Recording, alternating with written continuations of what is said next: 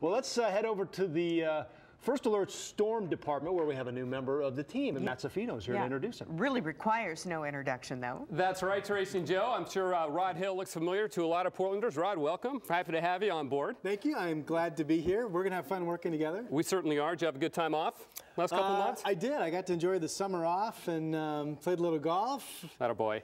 Hit a lot of golf balls, Yeah. meaning Any good ones? more on any particular day than I wanted to. Well, we're thrilled to have Rod join us with the First Alert Storm team. Of course, a lot of Portlanders know Rod Hill, and uh, just great to have you on board. Looking forward to working with you over them, especially with the storms coming. Not yet, but they will be. So I appreciate that. And by the way, I'm a, I'm a Beavers and a Ducks fan.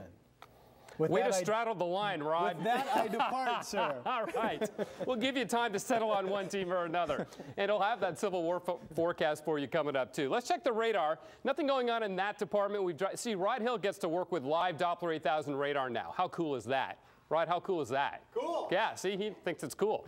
Here's the uh, sky show from the Rose City Sky Cam. Just a couple of high, thin clouds at sunset.